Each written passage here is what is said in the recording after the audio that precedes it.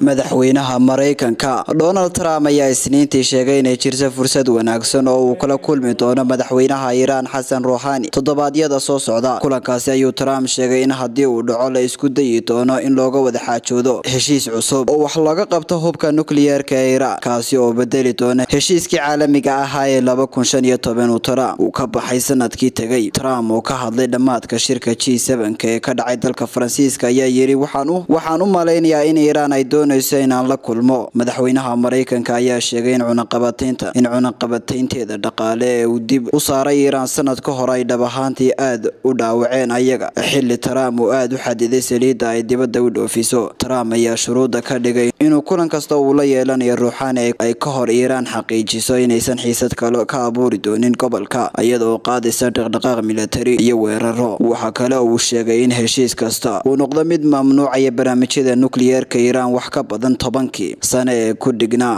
heshiiska laba kun shan iyo toban cabdirashiid maxamuud maxamed wararka star t v